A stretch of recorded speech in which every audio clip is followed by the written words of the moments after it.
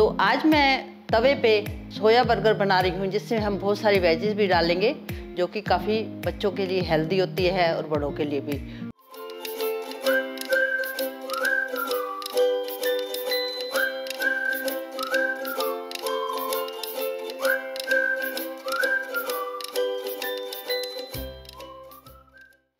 बच्चों को बर्गर खाना बहुत पसंद है। लेकिन हम बाज़ार से जब लाते हैं तो वो इतने हेल्दी नहीं होते। तो आज मैं बच्चों के लिए क्विक तवे पे सोया बर्गर बना रही हूँ, जिसमें हम बहुत सारी वेजेस भी डालेंगे, जो कि काफ़ी बच्चों के लिए हेल्दी होती है और बड़ों के लिए भी। तो आइए देखिए उसके लिए हमें क्या क्या चाहिए। और अगर आप मेरे चैनल पर नए हैं तो उसे लाइक कीजिए शेयर कीजिए और सब्सक्राइब कीजिए। और प्रॉपर वे में बनाने के लिए आप वीडियो को पूरा लास्ट तक देखिए। तो उसके लिए मैंने ये एक मीडियम साइज़ का प्याज लिया है चॉप करके, इसको बारीक चॉप किया है। ये टमाटर लिए हैं। टू मीडियम साइज़ के टमाटर हैं। ये गाजर ली है मैंने। ये शिमला मिर्च है। ये हरा धनिया है। और ये मैंने न्यूट्री ली है, जिसको सोया क्रम्स भी बोलते हैं। उसको मैंने हल्का सा फ्राई करके लिया है। और ये मैंने चार उबले हुए आलू लिए हैं। और ये मैंने बर्गर बनाने के लिए ब्रेड लिया है। तो आइए देखिए। तो उसके लिए कढ़ाई में हम एक टेबल स्पून के करीब ऑयल डालेंगे। और हम एक टेबल स्पून के करीब इसमें बटर डालेंगे।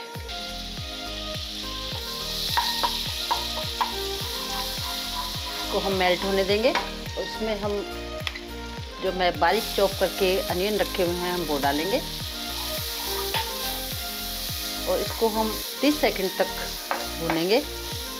हमने हल्का सा इसका कच्चापन ख़त्म करना है, लेकिन ये क्रंची रहने चाहिए थोड़े।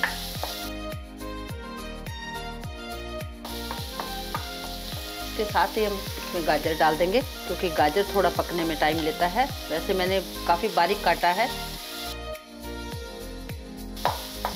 देखिए, है, थोड़ी हमारी गाजर भी सॉफ्ट हो चुकी हैं और प्याज भी सॉफ्ट हो चुके हैं। अब हम इसमें शिमला मिर्च डालेंगे। जो ये देखिए, मैंने इसको भिगो के हल्का सा फ्राई कर लिया था, ये भी हम डाल देंगे।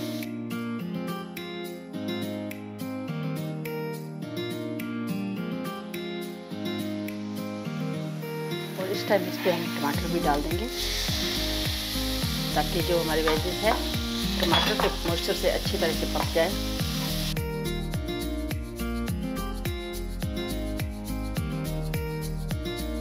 ये देखिए, सब्ज़ी हमारी लगभग पक चुकी है और अब हम इसमें टेस्ट के अकॉर्डिंग नमक डालेंगे और थोड़ी सी हम लाल मिर्च डालेंगे।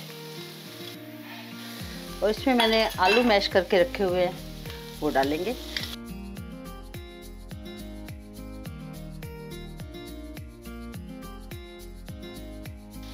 अब हम इसको हल्का हल्का सा मैश कर देंगे,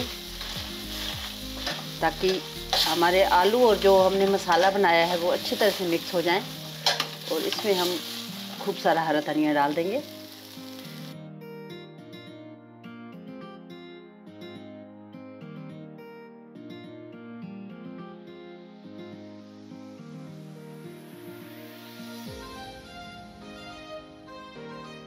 देखिए, हमारे बर्गर के लिए स्टफिंग बनकर बिल्कुल तैयार है। और देखिए, कितनी टेम्पटिंग लग रही है। और अब हम इसको पाँच मिनट तक ठंडा होने देंगे, फिर हम अपने स्ट्रीट स्टाइल तवा बर्गर बनाएँगे। आइए, आगे देखिए। और अब मैं इसमें आधा नींबू का रस डालूँगी खट्टेपन के लिए। आप चाहे तो आमचूर पाउडर भी डाल सकती हैं, चाट मसाला भी डाल सकती हैं, वो जो आपको पसंद हो, आप वही डालिए। अब मैंने गैस पे तवा रखा है। और उसको हम गरम होने देंगे। इसी बीच हम अपने बर्गर पे स्टफिंग डाल लेते हैं। तो ये देखिए, मैंने बर्गर को बीच में से काट लिया और इस पर हम अब स्टफिंग लगाएँगे। आप चाहें तो इसमें हरी मिर्च भी डाल सकते हैं, लेकिन मैंने बच्चों के लिए बना रही हूँ तो मैंने हरी मिर्च अवॉइड की है। तो इसको आप अच्छी तरह से लगा लीजिए और इस पर हम थोड़ा सा पनीर भी डालेंगे, जो मैंने ग्रेट करके रखा हुआ है, और हम इसको दूसरे से दबा देंगे। साइड से हम इसको प्लेट कर लेंगे। इधर से हमारा तवा गर्म हो चुका है और उस पर हम थोड़ा सा बटर डालेंगे और थोड़ा सा हम ऑयल डालेंगे। दोनों को मिला के काफ़ी अच्छा सा टेस्ट आता है। इस पर हम थोड़े से सेसमी सीड डालेंगे। और थोड़ा सा हम हल्दी डालेंगे। और थोड़ी सी हम इसमें लाल मिर्च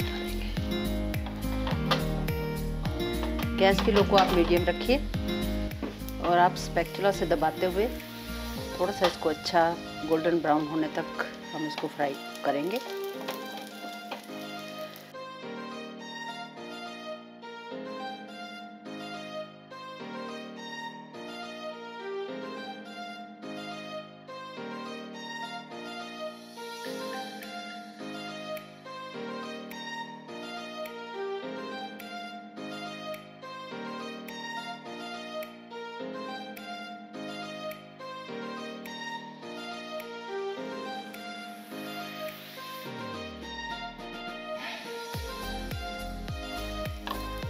ये देखिए कितना सुंदर कलर आ गया इनका।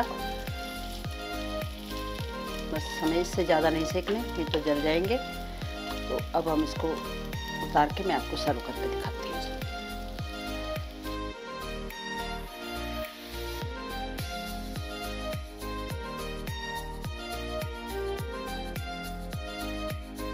तो हमारा ये टेस्टी सा, डिलीशियस सा सोया वेजी बर्गर बनकर तैयार है। मैंने इसमें चीज़ भी डाला है जो कि बच्चों के लिए हेल्दी होता है। तो ये काफ़ी हेल्दी बना है, आप इसे ज़रूर बनाइए, बच्चों को बहुत पसंद आएगा। और अगर आपको मेरी वीडियो अच्छी लगी हो तो आप इसे लाइक कीजिए, शेयर कीजिए और सब्सक्राइब करना भी मत भूलिए। और बेल आइकन भी दबाइए। और जुड़े रहिए आशा मेहता की रसोई के साथ।